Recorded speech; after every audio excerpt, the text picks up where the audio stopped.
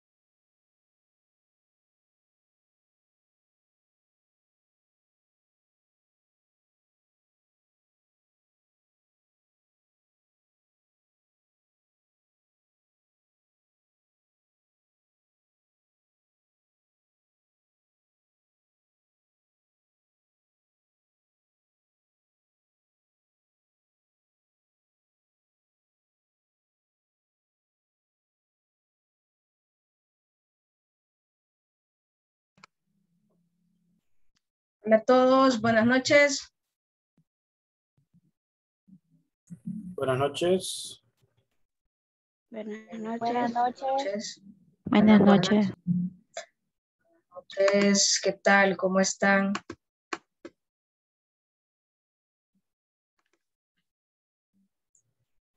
Muy bien, gracias. ¿Y usted qué tal?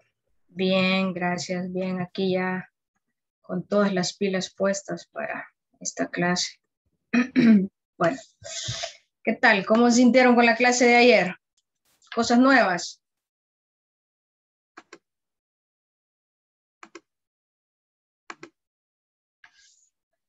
Ahí está. Bueno, espero que no se me asusten con lo que vimos ayer, porque pues toda esta semana van a ver cosas que, relativamente no, no han visto antes, pero es, es así, ¿verdad? Hay que acumular conocimiento diferente, conocimiento útil y que nos va a aportar bastante. Pues bueno, el día de hoy vamos a ver temas que tienen que ver con eh, la eh, colocación de los contenidos en los motores de búsquedas. Si se recuerdan, el día de ayer pues hablábamos de, que nos quedamos en esta gráfica precisamente en la que buscamos la atracción, ¿verdad? Atraer a las personas, atraerlas hacia nuestro sitio web, hacia nuestra landing page. Es decir, lo que andamos buscando son los datos, ¿verdad? Eh, lo vimos también en números, cómo es importante, cómo ha, cómo ha cambiado la, el escenario del marketing y de la publicidad, el crecimiento eh, que ha tenido el Internet y, por supuesto, el eh, que muchas personas tienen acceso a Internet. Eso también es lo que básicamente son los, los elementos dinamizadores del por qué hoy tenemos una nueva realidad perdón, si el Internet no hubiese aparecido en nuestras vidas y si no lo hubiésemos adoptado de una manera como lo, como lo hemos hecho ahora, muchas de las cosas que ahora estamos eh, viendo como algo normal en nuestras vidas, pues obviamente no, no, no tendrían eco, ¿verdad? No tendrían razón de ser. Sin embargo, el escenario cambió, el mundo cambió, los consumidores cambiaron y entonces tiene que el marketing y la publicidad adaptarse a esa nueva forma de vida, esa nueva normalidad, ¿verdad? Hoy más que nunca sabemos a qué se refieren los cambios drásticos y pues eh, estamos ahí, ¿verdad? Tratando de sobrevivir, la, el marketing así muta constantemente y es parte de sus eh, características como tal. Entonces, hablamos el día de ayer que en la etapa de la atracción, pues lo que queremos es generar mucho tráfico, ¿verdad? Que lleguen muchas personas para que podamos tener esa, esos datos que a la vez nos van a servir para interactuar con las personas, finalmente llevarlos a la etapa de la conversión. Entonces, hago énfasis en el tema del Internet porque pues obviamente, como ya lo he aclarado en esta clase, el marketing va más allá del tema de redes sociales, va eh, muchísimo con el tema de obtener datos y poder cualificarlos y después eh, identificar si son eh, un leads potencial que, que, tiene una temperatura alta, es decir, que nos puede llegar a comprar o no, o no. Entonces, en ese momento en el que nosotros identificamos la temperatura, también es donde vamos a identificar qué tanto nosotros podemos invertir de tiempo y recursos en eh, seguir nutriendo a ese cliente, ¿verdad? Si vemos que es un cliente que no le interesa para nada lo que nosotros le estamos ofreciendo, que no abre los correos, que, incluso hasta nos ha reportado como spam, pues no vale la pena seguir invirtiendo eh, tiempo en él. Entonces, es así. A ver, ¿quién tenemos por acá? Buenas noches, Edgar. No hay problema, está a tiempo. Lo importante es que entre. Entonces, hablamos eso, ¿verdad? Entonces, el nuevo escenario del marketing es el Internet. Ese es el nuevo mundo, eso es a donde tenemos que estar activa y activos, perdón. Y entonces, ahí nace todo en algo que se llama un motor de búsqueda, ¿verdad? Cuando hablamos de motores de búsqueda, pues nos referimos a un buscador, ¿verdad? Que es un mecanismo que recopila la información disponible en los servidores web y la, y la distribuye, perdón, en, a los usuarios por medio de un proceso de crawling. este proceso tiene que ver con eh, una especie de arañas, ¿verdad? Eh, que los buscadores mapean los datos y los almacenan en la red. Es decir, indexean la, la, información, la ordenan y la preparan de una manera que cuando usted realice una búsqueda, en un tiempo récord le están presentando diferentes resultados. Entonces, desde que nace el Internet y el interés de las personas y la interacción de las personas va creciendo en esta red, donde todos, absolutamente todos, aquí no me van a dejar mentir, todos van a Google a preguntarle algo, ¿sí? Que si, eh, dónde encuentro telebarato, que si dónde se encuentran las oficinas o el número telefónico de un banco, todo, o sea, la mayor parte de personas, estoy hablando de las personas que están entre, entre 45 a menor edad, a 18, incluso los más chiquitines, ni digamos, ¿verdad? Que utilizan eso para hacer sus tareas y demás. Todos utilizamos y nos auxiliamos de los motores de búsqueda. Entonces se pueden imaginar la cantidad de información que ahí fluye, la cantidad de, de personas que están eh, preguntando algo. Y entonces es un paraíso para los marketers, para los dueños de empresas, saber que hay personas que están buscando respuestas. Y en la medida en que nosotros les demos esa respuesta, pues vamos a volvernos su primera opción a la hora de resolver su problema. Este principalmente el meollo del asunto, es que donde está mi público objetivo, ahí quiero estar yo, porque para que me vea, para que sepa que si está buscando eh, un, curso de X cosas, pues ahí voy a estar yo, que ser de los primeros eh, lugares en los motores de búsqueda. Entonces, esos son los motores de búsqueda. un eh, servidor que canaliza la información, la ordena y la distribuye. Es decir, desde que usted pone su página web, que la activa, que la crea, desde entonces ya es parte de la comunidad del Internet y entonces desde ese momento los motores de búsqueda lo indexean, analizan su página web, qué es lo que está proyectando, qué es lo que está compartiendo, si va a ser una página institucional, de gubernamental, una página educativa, una página de un blog, una tienda en línea, cualquier cosa, todo, absolutamente todos estos tipos, estos, estos em, eh, actores que son los motores de búsqueda, lo saben todo, ¿verdad? Nos tienen tan, pero tan mapeados que es de una manera increíble, pero es que lo demanda y se necesitaba que algo así naciese para la cantidad de información que íbamos a, a ver, a enfrentarnos en un momento dado. Entonces, los motores de búsqueda tenemos tres tipos los buscadores jerárquicos, los directorios y los metabuscadores. Así se derivan los motores de búsqueda. Ahora ustedes van a decir, bueno, pero que no solo Google. Eh, la verdad es que no, hay un montón de motores de búsqueda. Lo único que Google es el más popular, es quizás uno de los más completos porque nos da no solo el servicio de la búsqueda, nos da un montón de cosas más, ¿verdad? En ellos podemos encontrar el correo electrónico, que un calendario, que salas de chat, eh, de salas de, reuniones también, eh, videoconferencias, bueno, y un montón de productos que tiene Google que si empezamos, bueno, hasta tiene una academia, pues, para que ustedes lleven cursos gratuitos y no son tan malos, ¿eh? debería decir. Ya me van a sancionar, pero es la verdad, es que al, César lo que es del César, ellos tienen un montón de servicios que, que nos pueden ayudar en un momento dado. Entonces, los motores eh, de búsqueda jerárquicos son eh, interfaces de interrogación textual, ¿verdad? Que revisan las bases de datos de las páginas web a través de sus arañas, que recopilan eh, eh, y ordenan la información sobre los contenidos compatibles de la búsqueda de un usuario. Es decir, imagínense la velocidad que tiene esto, que usted cuando termina de escribir lo que está buscando, en cuestión de segundos o microsegundos o fracciones de segundos, inmediatamente este motor de búsqueda ya le tiene diferentes opciones a las que usted puede, que le pueden servir, porque eso es importantísimo que lo tengamos claro. Estos motores de búsqueda lo que hacen es que aquella información que tiene que ver directamente con lo que el, el, usuario está poniendo en la caja de búsqueda es lo que le presenta, además de otros elementos que vamos a analizar también. Y entonces, una vez realizan la consulta, la clasifican por relevancia respecto a la búsqueda concreta y según el historial de navegación que tenga el usuario. Entonces, estos motores de búsqueda conocen muy bien todas las páginas y todo lo que publicamos en, en una página web, en un blog o en una tienda en línea y conocen también la contraparte, que es lo que nosotros andamos buscando. Y todo esto ocurre en fracciones de segundo.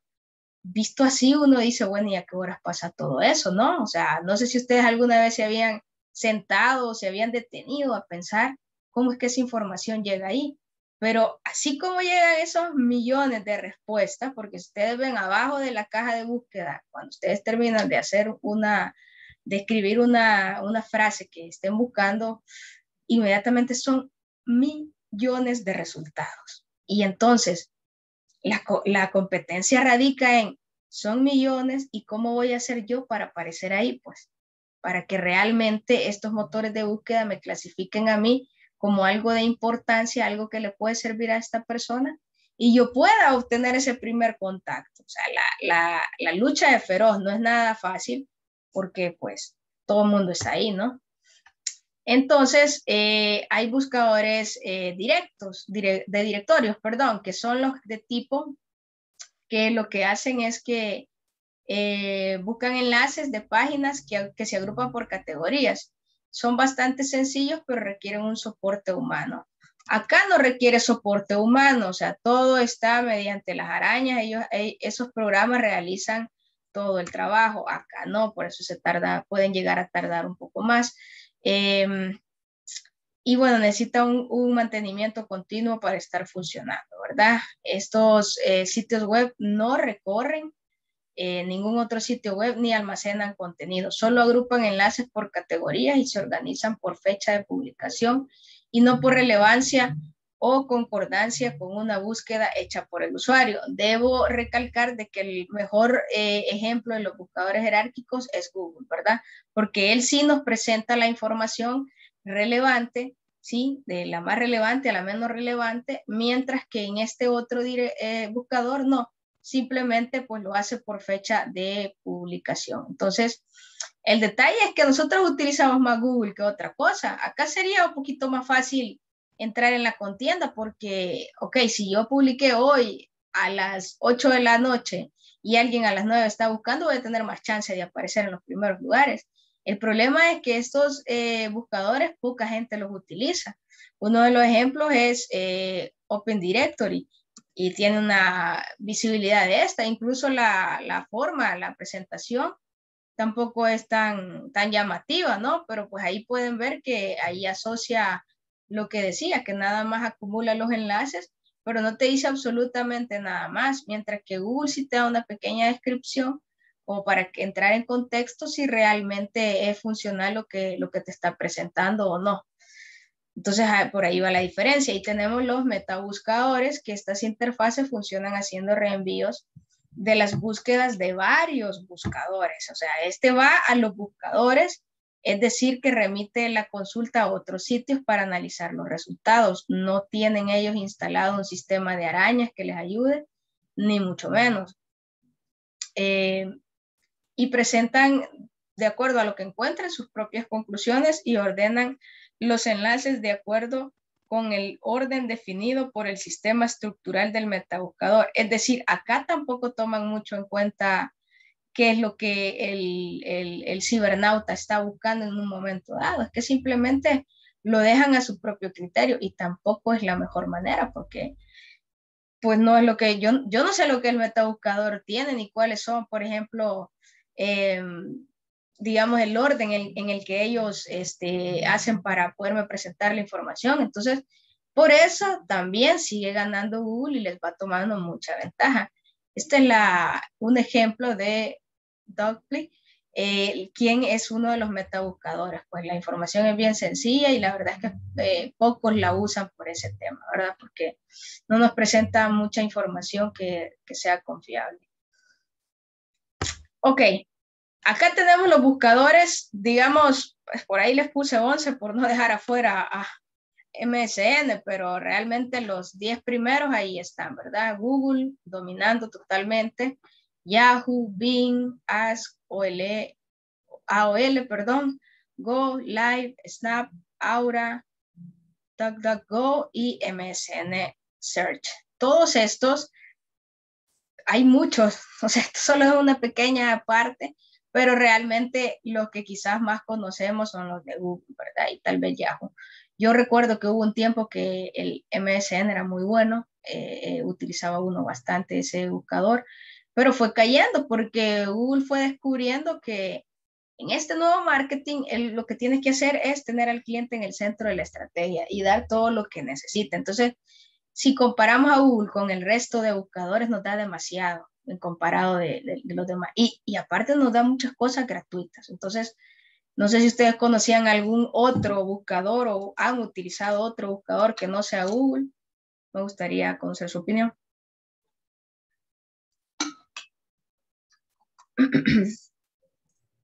Buenas noches. Buenas noches.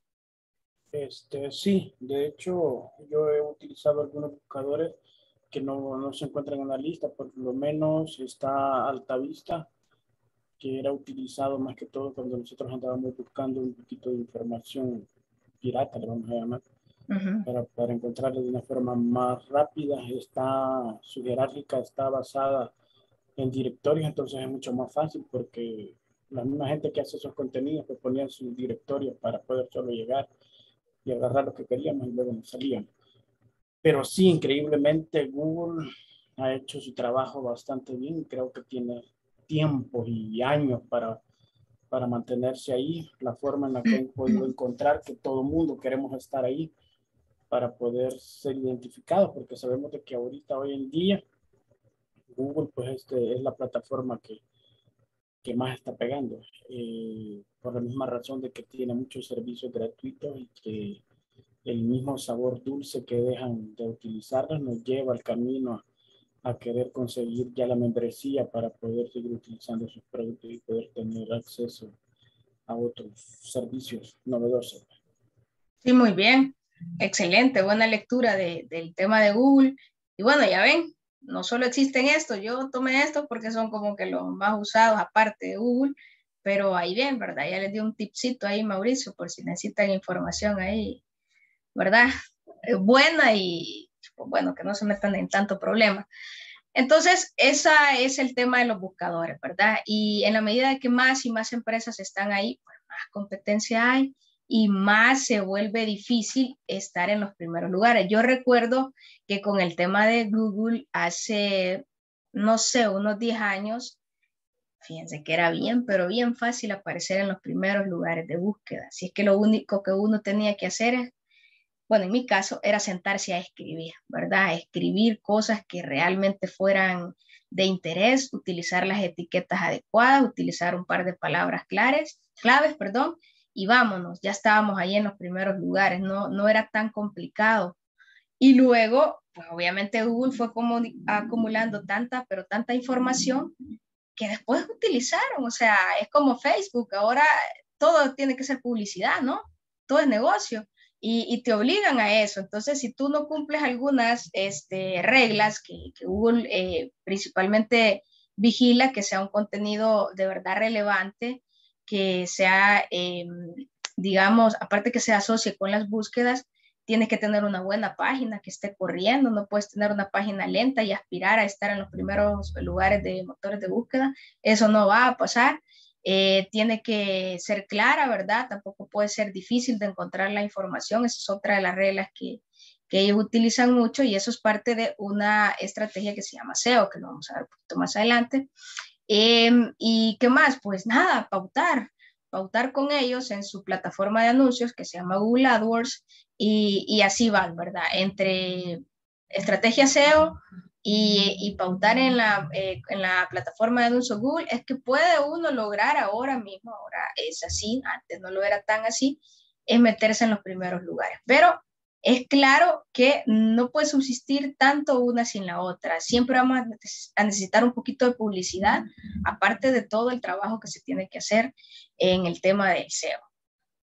Que ya lo vamos a ver qué es, ya para que vayan entrando en materia. Y bueno, entonces esto nos lleva obviamente entender de que ahora el jueguito es estar ahí, ¿verdad? Estar en dos frentes principalmente. El marketing digital es así. Tenemos que estar en el frente de los motores de búsqueda y en el frente de las redes sociales para poder tener visibilidad. Ahí está que van de la mano esas dos cosas. Entonces, podemos decir que el posicionamiento en motores de búsqueda es el proceso de optimizar la visibilidad de un sitio web en los resultados orgánicos de diferentes buscadores, más el uso de la publicidad, ¿verdad? Ese es el concepto, eso es a lo que se refiere posicionarse dentro del motor de búsqueda.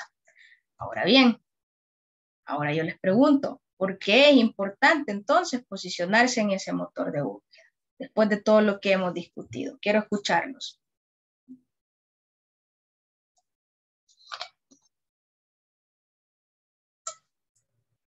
A opinar nuevamente. Adelante. Considero de que es importante que estemos en los motores de búsqueda porque ahora el cliente potencial que nosotros tenemos ya no solo se queda con lo que ve, sino que necesita comprobar con sus propios ojos y sus propios criterios si realmente lo que estoy buscando me conviene. Y es aquí donde entran los motores de búsqueda porque nosotros podemos estar eh, googleando, en este caso, eh, información de un producto que yo deseo comprar y de alguna manera poder encontrar opiniones o, o review o, o, situaciones que tal vez otra gente ya haya podido palpar y haya podido identificar cuáles son sus errores o cuáles son eh, las deficiencias que tiene para poder convencerme y poder adquirir producto. Eso es en primer lugar. Y en segundo lugar, estaríamos en los motores de búsqueda porque eh, generaría ese mercado tan grande. O sea, el simple hecho de aparecer en las primeras búsquedas de San Google, prácticamente estaríamos logrando que todo el mundo nos pueda visualizar. Y asimismo, pues no solo poder trabajar con las redes sociales, sino que al mismo tiempo poder entrar con el mercado que, que se dedica a buscar productos por medio de, de motores de búsqueda. Ok, muy bien. ¿Alguien más quiere opinar al respecto? Excelente, Mauricio. Buena lectura. Adelante, Katy. Buenas noches. Yo siento que porque nos da credibilidad. La gente usualmente como que Google te dice que el morado es verde y el morado es verde aunque no sea así, ¿verdad? Este, usualmente la gente se cree todo lo de Google y eso sí creo que nos da credibilidad y en una empresa siento que vale mucho la credibilidad. Ok, muy bien. Excelente. ¿Alguien más? A ver, estamos varios. ¿Qué se les ocurre que es importante ahora posicionarse en los motores de búsqueda?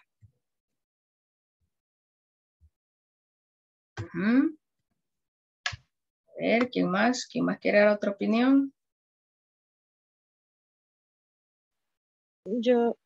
Adelante. Yo Creo que es importante porque em, ya no solamente somos reconocidos con las personas que saben que existimos, sino que, eh, por ejemplo, si buscan, en nuestro caso, por ejemplo, una clínica eh, en cierta zona, entonces, dependiendo de, cómo estamos nosotros eh, en estos motores de búsqueda, qué tan buena qué tanta es la calidad de nuestro servicio. Entonces, así nosotros vamos a hacer prioridad en esos motores de búsqueda para las personas que están buscando nuestros servicios. Ok, ok, muy bien. Gracias, Katy. Gracias, Mauricio. Bueno, eh, para complementar lo que ellos han dicho, que está muy acertado, honestamente es importante posicionarse en los motores de búsqueda precisamente para que nos encuentren, ¿verdad? Ya en la nueva realidad del marketing, nosotros no podemos andar atrás de, los consumidores porque, porque ya lo hemos hablado, que son más libres, que buscan por sí mismos la información. Entonces lo que nosotros tenemos que hacer es facilitar que ellos nos encuentren. Por eso se trabaja mucho el SEO y, el SEM, que lo vamos a ver más adelante. Porque, a ver, como les decía al principio, de miles, eh, millones de resultados, nosotros tenemos que lograr estar ahí al frente para que esta persona que anda buscando un producto, sea, el producto, como dice Katy, de, alguna clínica, que esté buscando que tiene un problema en la piel, que nosotros seamos esa primera opción, que nos encuentre primero, pues. Sí, que lo que nosotros le vayamos a proveer de información sea lo suficientemente convincente para que esta persona no vaya a otro lado, que se quede ahí. Y entonces cuando se queda ahí, tenemos más posibilidad de que esta persona se vuelva nuestro cliente. Pero si no hacemos ese trabajo, alguien decía, bueno, si no, si no estás en Internet, no existís. Como empresa no existís. Entonces, tenemos que estar ahí porque la dinámica nos obliga a estar ahí, porque ahora todo el mundo está ahí. Este es el más gran motor de búsqueda que existe, Google, y, y no podemos dejar de tener una página, no podemos dejar de tener un blog que nos ayude a estar ahí, a posicionarnos, a activar esas cookies, por ejemplo, y, y que no fue y nos vio en el sitio web y vio la información y le gustó, pero no tomó la decisión, entonces cuando vaya a las redes sociales, allá le tiene que aparecer mi publicidad. Ahí van las dos cosas, ¿sí? En el motor de búsqueda, él me encontró porque le interesó lo que yo le estaba proveyendo, pero cuando va a las redes sociales, allá le va a aparecer una publicidad.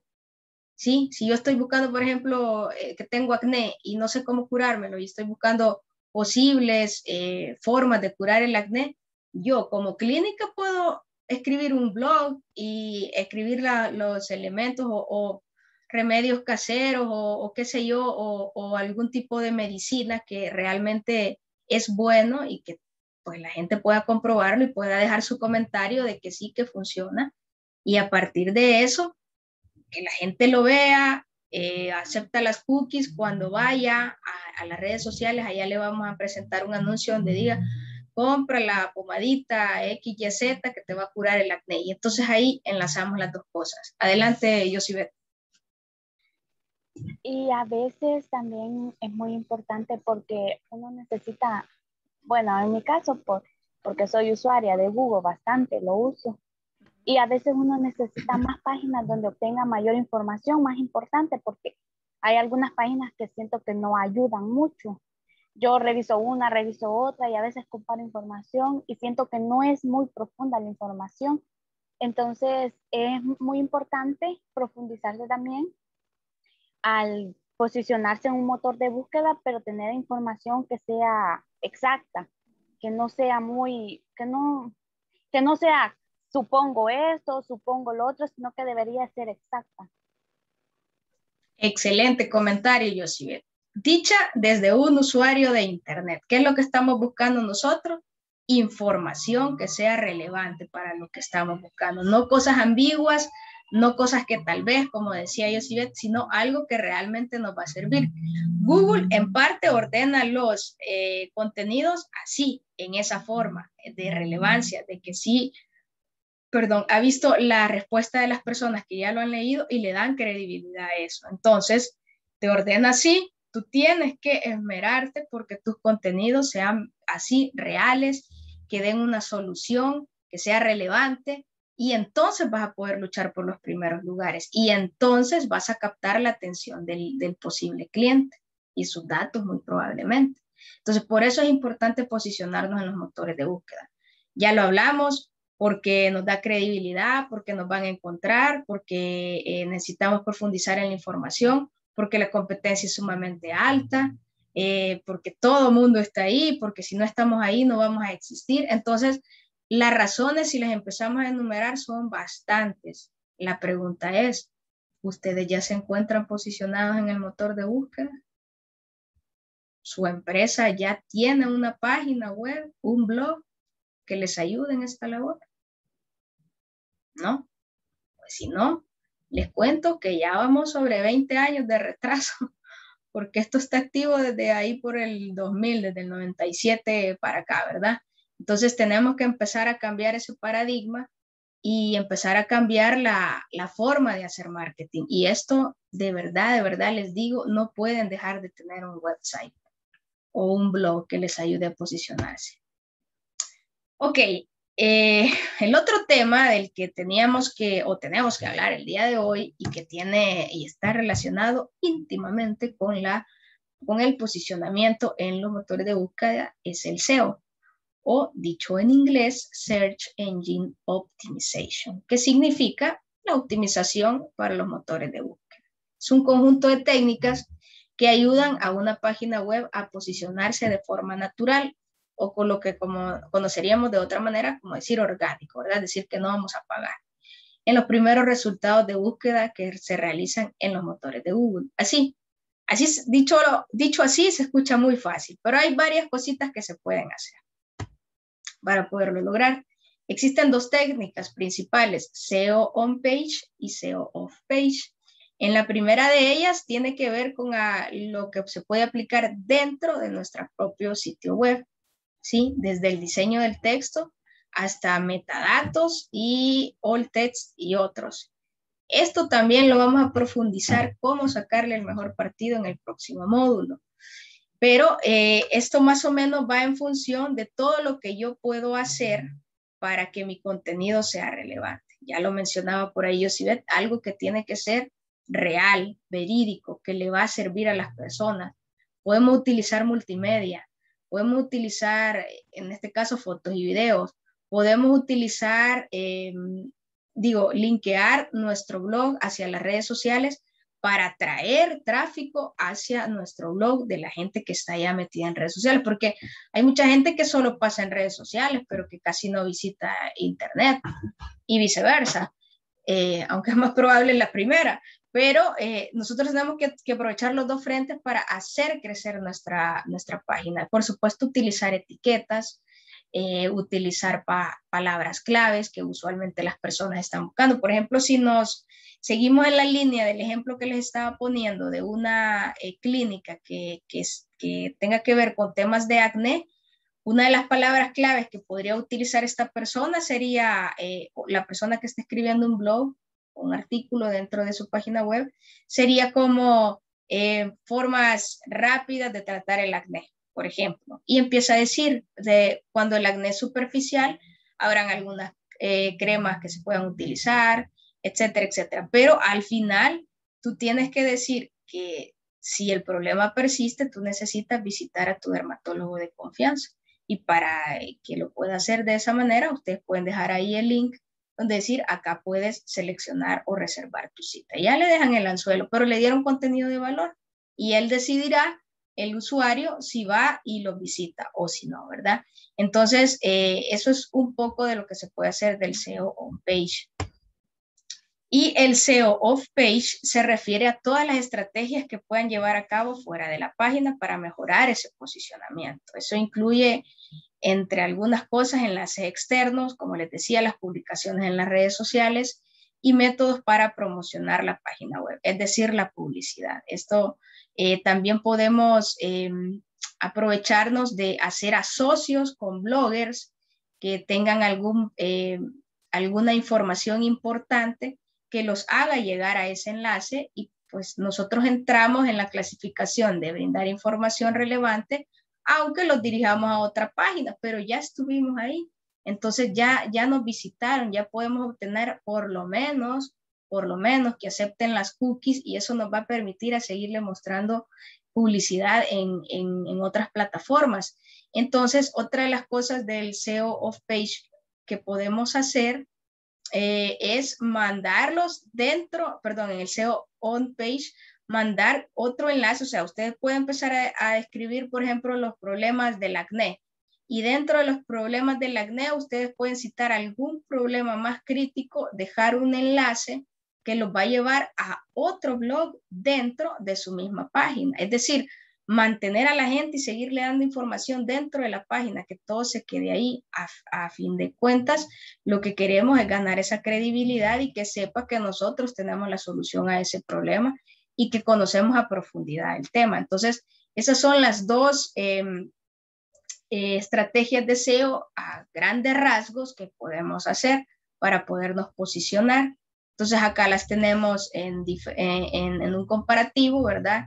El SEO on page, pues todas las estrategias que se aplican dentro del sitio web y las, el SEO off page de las que se aplican fuera de el sitio web. Pero ambos lo que buscan es atraer eh, tráfico y poder obtener los datos, ¿verdad? Eh, ahí tenemos el comparativo, hablamos del SEO page del diseño, el texto, los metadatos, el texto y de los, el SEO off page, los enlaces, las publicaciones en las redes sociales y los métodos de promoción. Esas son las dos maneras que podemos crecer a través de las estrategias SEO.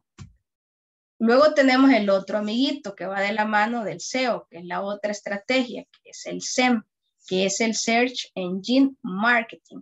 Entonces, esto hace referencia a las prácticas que se realizan en una web para obtener una mayor visibilidad, finalmente mediante campañas de publicidad en los buscadores, ¿verdad? Como les decía al principio de la, clase, ninguna puede sobrevivir sin la otra. Las dos tienen que ir de la mano y Google te lo hace pagar porque hay muchas personas que creen que solo porque ya pautaron un anuncio dentro de la plataforma de anuncios de Google, ya está. Cuando Google tiene una misión que es proveer la información relevante, entonces ellos no van a fallar a su misión solo porque tú ya les pagaste 100 dólares, no les importa. Entonces ellos lo que van a hacer es que van a evaluar tu anuncio que cumpla con sus con sus reglas, pero también van a evaluar que tu sitio web esté optimizado con SEO. Si no, no, sirve de nada poner un anuncio, ni siquiera va a aparecer en los primeros lugares, o sea, vas a desperdiciar tu dinero. Por eso es que estos dos estrategias van de la mano, no pueden sobrevivir una sin la otra, no en la actualidad, no sé en el futuro, pero en la actualidad no. Entonces podemos decir que el SEM son los resultados de pago en el buscador, ¿verdad? Eh, un anunciante paga por cada vez que un eh, usuario hace clic en el anuncio. Es decir, esta es más exacto incluso que la publicidad que podemos hacer nosotros en redes sociales, porque allá nos venden la exposición, ¿verdad? La visibilidad. Pero acá el clic, quien hace clic en tu anuncio, por ese clic ya pagaste, ¿verdad? Entonces la clave es que si va a ser un video, los primeros cinco segundos del video tienen que enganchar si no, ese dinero se va a ir a la basura porque la persona va a llegar y se va a ir y se va a convertir en un rebote. Entonces lo que queremos es que nosotros montamos la publicidad en, una, en la plataforma de Google, en Google AdWords, y eh, lo que queremos es que las personas den clic, pero se queden a ver el video para que eso que yo pagué por ese clic realmente me rinda y al final pueda obtener información de ellos para poder seguir nutriendo esa o para iniciar la relación con ellos, ¿verdad? Entonces, los dos van de la mano. Puede ser una pausa ahorita para pasar lista y luego continuamos con este tema. Ok, vamos a ver. Melissa Ivonne. Presente. Ok. Ahí está. Eh, Stephanie, Catherine Stephanie, perdón. Presente. Ok, Jocelyn Margarita.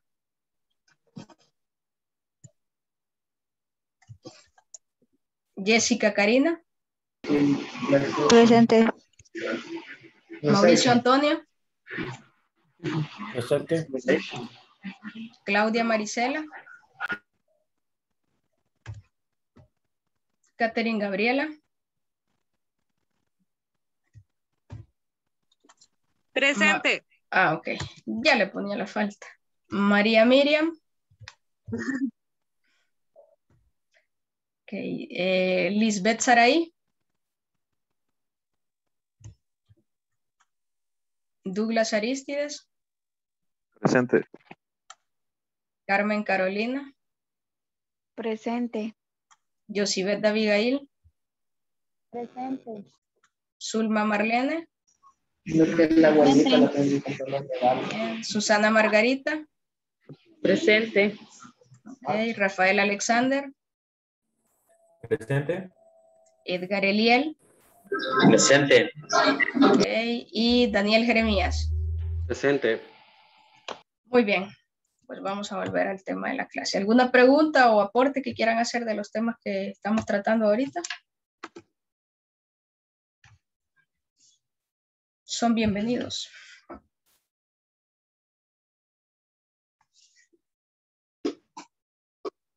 Ok, bueno, pues ya vemos que ambas eh, estrategias, verdad, no las deben de dejar de lado. Sé que este tema puede ser abrumante en un principio porque para que nos sintiésemos más identificados, nosotros ya tendríamos que tener un sitio web activo, ¿verdad?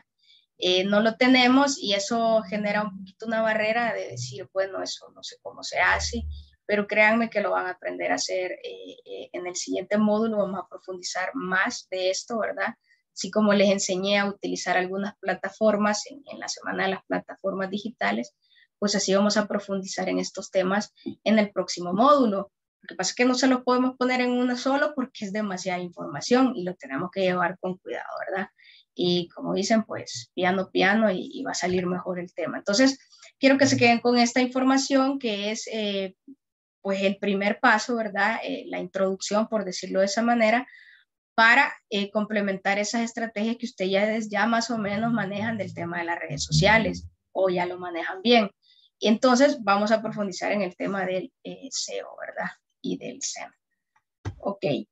Entonces, ¿qué podemos lograr con el Search Engine Marketing? Primero, conseguir tráfico altamente cualificado a la página. Es decir, que acá no vamos a tener gente que tal vez es, que tal vez no es. ¿Por qué? Porque vamos a utilizar unas buenas segmentaciones, vamos a eh, poder ser visibles para alguien que ya está buscando un tema en particular, ¿sí?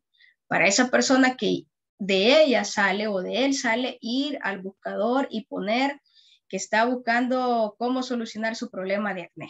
Entonces ya está buscando, ya es una persona que quiere una solución y que va a pagar por ella. Entonces, por eso es que ya son cualificados. Aparte, nos da a conocer la marca o empresa a todo el mundo. Ya sabemos, ¿no? Estar en, motores de búsqueda es existir. Entonces, eh, vamos a hacernos visibles también ahí. Nos ayuda a generar conversiones, pero por supuesto que sí, es lo que estamos buscando y gracias a esto nos podemos acercar más a ello. Y nos va a ayudar a llegar lejos con un presupuesto corto, ¿sí? ¿Por qué? Porque es más eficiente que lo que podemos hacer en redes sociales. Porque solo vamos a gastar por personas que realmente se interesen, por personas que den clic, y si a eso le sumamos que vamos a tener mapeados las palabras claves, vamos a tener eh, bien optimizada nuestra página web, nuestro blog, entonces tenemos todas las de ganar. Acá lo importante es aprenderse las reglas del juego y aplicarlas para que podamos ver resultados positivos.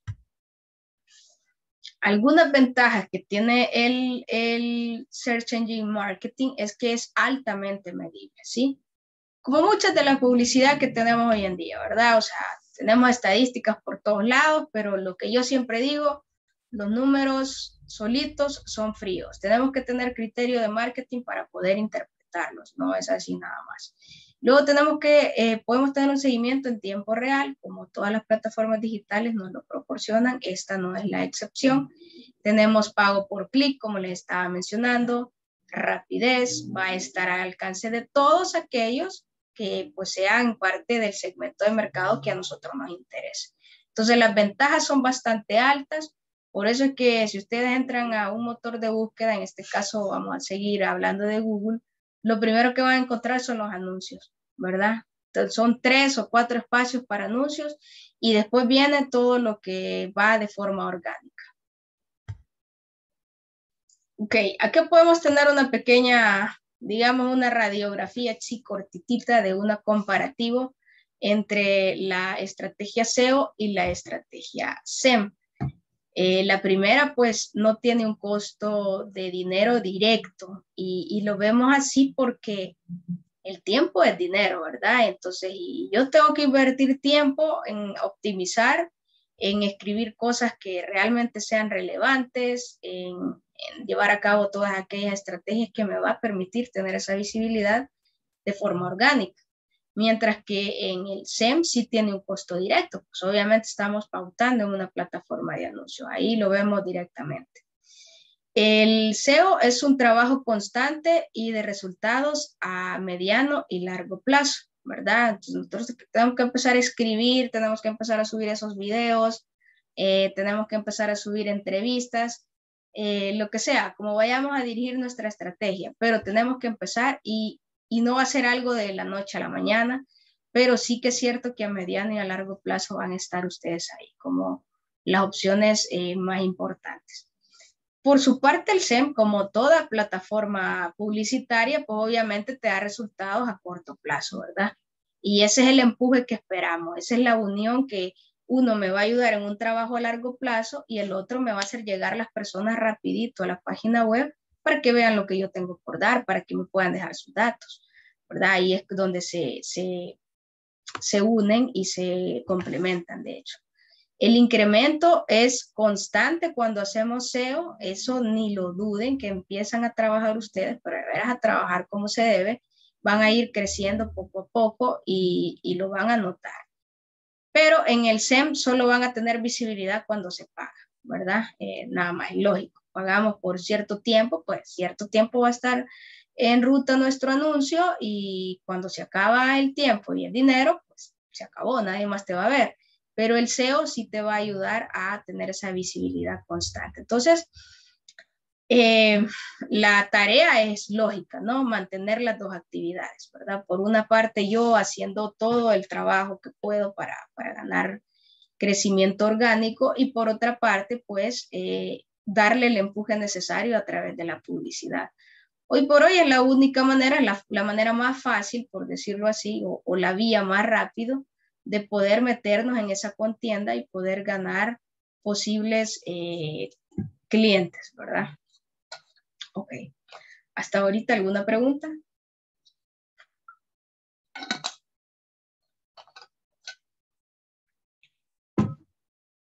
¿O algún aporte?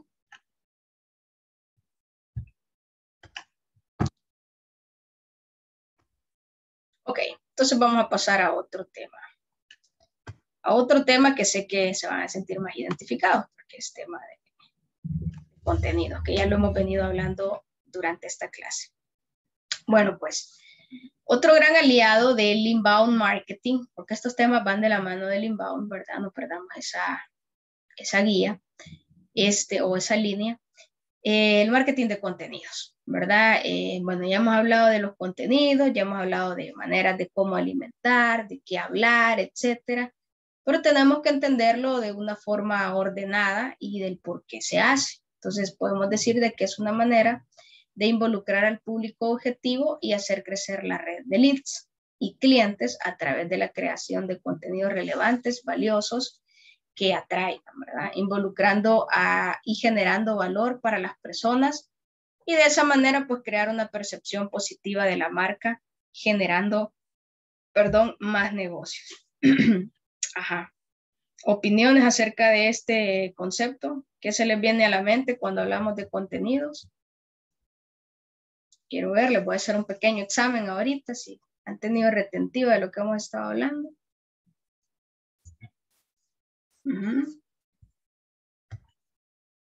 A ver.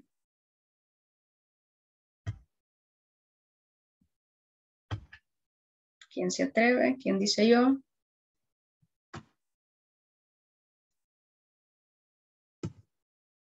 Nadie. Ya me estaba asustando.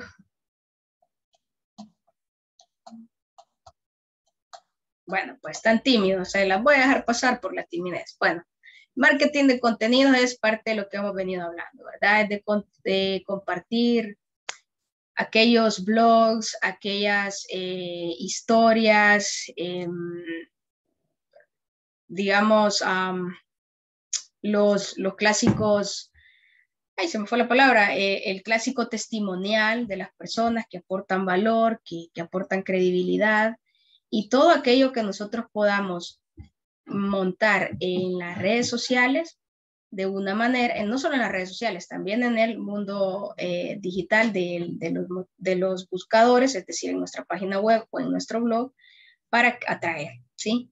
Muchas veces puede ser un webinar para atraer a muchas personas a que se inscriban y es un contenido valioso. O sea, imagínense ustedes van a tener una clase de un tema que a ustedes les interese, ¿sí? No sé, imagínense una técnica de diseño gráfico, por ejemplo, una masterclass de diseño gráfico. Todo el mundo va a querer tener esa masterclass, ¿no? Pues es gratis. 40, 50 minutos, una hora. Y entonces, ¿qué es lo que les piden acá, a cambio? Pues dejar sus datos, ¿verdad? Llenar un formulario para poder entrar a esa clase. Eso es un intercambio, una conversión, o sea, yo les estoy dando algo gratis, un contenido de valor, pero ustedes me están dando me están dando sus datos. Ese es el meollo del asunto. Por eso es que creamos tantos contenidos, porque queremos sus datos, porque queremos que eh, tenerlo ya en una base de datos y después empezar a nutrirlo. Entonces, se trata de eso, de hacer una red de leads, de hacer una base de datos que a través de esos eh, contenidos que puedan atraer, puedan eh, obviamente hacer ese intercambio que les mencionaba antes. Entonces, podemos decir que una estrategia de marketing de contenidos o el efecto para una empresa es el siguiente. Lo primero, bueno, o el fin último que perseguimos, más bien dicho, con el marketing de contenidos es aumentar las ventas, ¿verdad? Porque voy a retomar la relación. Yo hago y lanzo un anzuelo para que lo tengamos más claro que se va a llamar el marketing de contenidos, un contenido de valor ese contenido de valor va a pedir a cambio los datos. Esos datos cuando los tenemos, los procesamos, los cualificamos, hacemos contacto con ellos y finalmente empezamos a nutrir de información y a darle seguimiento para poder llevarlos a la última etapa del embudo de conversión. ¿Se acuerdan que ya vimos eso? entonces en esa última etapa es donde se dan las ventas. Entonces, a mayor personas que nosotros intentemos llegar con contenidos de valor y obtener sus datos, mayor va a ser la probabilidad de que yo pueda cerrar negocios, de que yo pueda aumentar las ventas. Entonces, este es uno de los fines más importantes que persigue el marketing de contenidos, porque yo ya tengo una estrategia de inbound montada, yo ya tengo un CRM, yo ya estoy presente en Internet, ya tengo mis redes sociales, pero ahora yo necesito contenido hacerlo llegar. Entonces tengo que trabajar en eso. Y como les decía en su momento, el crear contenido no es algo al azar, no es algo, ay, hoy, se me ocurrió hacer esto, mañana lo otro, que tiene que tener un sentido lógico para que las personas puedan llegar de poco a poco, ¿verdad? Que puedan, que podamos ganarnos su confianza, etcétera. Otra cosa que, podemos eh, conseguir si ejecutamos bien el marketing de contenido es crear vínculos con las personas, ¿verdad? Estamos hablando que estamos en la etapa donde las personas quieren que las tratemos bonito, que le dan mucha importancia a, ese vínculo, a que la empresa me contestó, a que me dio seguimiento, a que me preguntó si me había gustado el producto o servicio, etcétera. Entonces, eh, aparte de eso, pues podemos generar eh, o, digamos, generar y, hacer entrar en una misma línea la, lucha por diferentes valores, ¿verdad? Como lo veíamos el día de ayer. Es decir, que yo pueda identificar que mi segmento de mercado es un segmento que, que valora mucho a las mascotas, pues yo me tengo que meter en ese rol, que también valora a las mascotas. ¿Para qué? para yo poder entrar en ese vínculo, para que las personas pues confíen que somos, somos de las mismas, por decirlo de alguna manera, ¿verdad? Eso es lo que tenemos que ir buscando y con buen contenido podemos llegar a lograr. También, a ver, adelante, Josibet. Cuando hablaba de eso, de crear vínculo con las personas, muchas veces algunas personas que tienen negocio y, y así es en línea, cuando se pregunta por algún producto, no responden o mayormente dejan en visto. O tal vez no tienen ya el producto, pero no dicen no tengo, sino que dejan en visto, no responden. Y uno, en mi caso, yo al ver que no tengo respuesta, elimino la conversación y ya no le vuelvo a preguntar nada. Y si me vuelve a aparecer algún producto que me esté ahí mostrando, por ejemplo en Facebook, yo ya no le pongo cuidado por lo mismo, porque no da, no da respuesta a las preguntas que uno le hace. Muy bien, muy bien, yo ese es el sentir de todo usuario. Ahí lo tienen claramente. Y yo creo que todos tenemos algo de eso, algunos en mayor o en menor medida, como, como lo tiene Josibet. Entonces, si queremos crear esos vínculos, tenemos que atender a tiempo a las personas, tenemos que hacerles saber que nosotros eh, creemos en lo que ellos creen, que les damos la atención adecuada, que estamos ahí. Y se acuerdan cuando hablábamos de que a los consumidores digitales les gusta mucho la sinceridad. Yosibet lo acaba de expresar muy bien.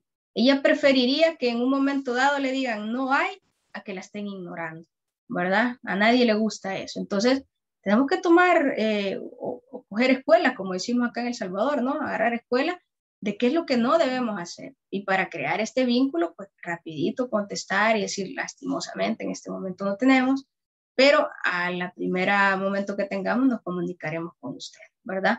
O darle una fecha. Adelante, Edgar. Acerca de lo que está hablando, de que no les responden o hacen preguntas, este, y, y, pues no, no, se tardan. Este, en el caso de ahí de, de yo me encuentro, lastimosamente no estoy en esa área, no me quisieron dar la oportunidad, pero eh, según lo que las directrices que les han dado a ellos es que respondan de, o sea, no venir de, arriba hacia abajo, no que de abajo hacia arriba, les han dicho. Entonces, yo siento de que, bueno, conforme lo que están hablando y usted está impartiendo, creo que es un error, siento yo, por el detalle de que hay personas de, que necesitan pronto una, una respuesta y por estar respondiendo de abajo hacia arriba, creo que están dejando ir bastantes clientes, pienso yo. Muy bien. Pero, no sé, va, un, un, error que tal vez nadie, nadie lo ha señalado por el momento. por el momento, claro. Sí, la verdad es que todos los usuarios, todas las personas que se contactan con nosotros en cualquier punto de contacto digital, tiene la misma importancia, ¿verdad? Sé que a veces es abrumante, eh, sé que a veces quizás solo tienen a una persona y, la empresa es muy grande y mete mucho presupuesto publicitario, entonces se vuelve complicado estar contestando cada comentario, eso yo lo sé, pero, y, lo sé en carne propia, pero es que ahí está el compromiso de la persona que esté en esa posición. Por ejemplo, Edgar lo está diciendo ahorita, o sea, ¿por qué no le contestan a los que están antes? Quizás en el momento eh, eh, está más caliente, y esa parte yo lo entiendo, el leads está más caliente, el que acaba de llegar, eso sí se entiende, pero yo tengo que responderle a él, tratar de sacar lo más rápido posible, pero ir allá atrás y responderle. ¿Por qué? Porque al menos puedes dar una disculpa y decir, lamentamos no haberle respondido antes, ¿verdad? Pero eh, la situación, si quieren le pueden explicar la situación y si no, simplemente decirle estamos a la orden para lo que necesite o llevar la conversación a un plano este, privado, ¿verdad? Donde ustedes le pueden explicar que tuvieron, qué sé yo, movimiento de personas o que simplemente se les había caído la red de respuestas y que por eso no lo habían podido atender, pero que en ese momento están ahí, están activos y que están para lo que ellos necesiten.